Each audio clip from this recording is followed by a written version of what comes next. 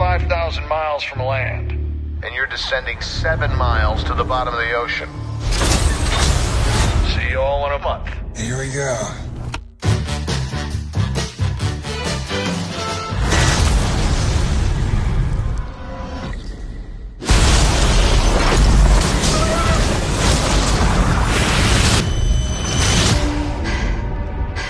Gotta get to the station.